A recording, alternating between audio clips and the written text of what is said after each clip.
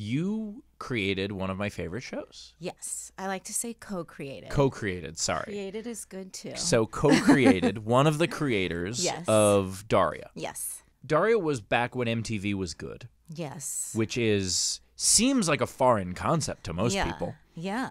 MTV was good music videos, um, Beavis and Butthead, Mm-hmm. and Daria. If you could, let's start with the beginning of it. How did Daria c- come to be? I didn't know what I wanted to do in college. I switched my major about eight times. I went to Temple University on a gymnastics scholarship. I switched my major. Like by the fourth year, I was hurt. I had knee surgery. I had back issues. I couldn't do gymnastics. And they were like, well, you need to kind of pick a major. Yeah. And I was like, well, I, you know. Like I thought I was going to be a professional gymnast, yeah, like nobody, yeah, like nobody ever does. Exactly. So when I realized that I'd have to go to college for another four years under one focus, I ended up transferring to New York Tech because they accepted all of my credits and gave me a triple major. So I just went an extra year.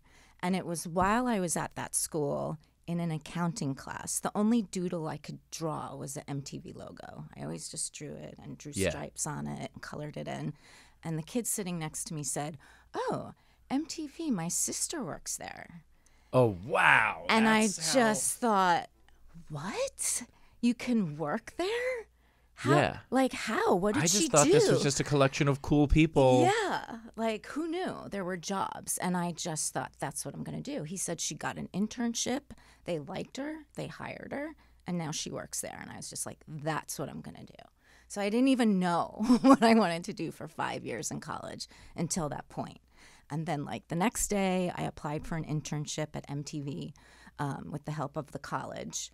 And I worked on a lot of different things like spring break and all that stuff. So, a lot of concerts and fun Yeah. for like a 22 year old.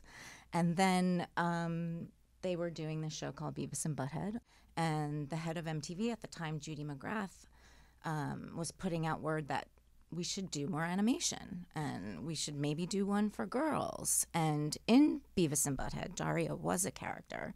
She was their foil. She was Yeah. the smart girl. They called her Diarrhea Cha Cha Cha. I don't know if you I remember, remember that. We knew we wanted it to be realistic, you know? Yeah.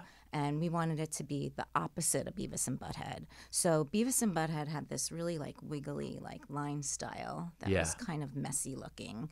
Um, and I thought, well, let's do the opposite. It's got to be a bold, clean.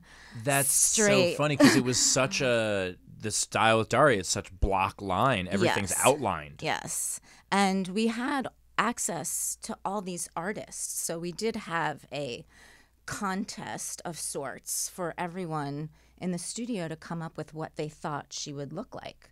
So we had all these designs to choose from and ideas on like what kind of look we wanted to go with.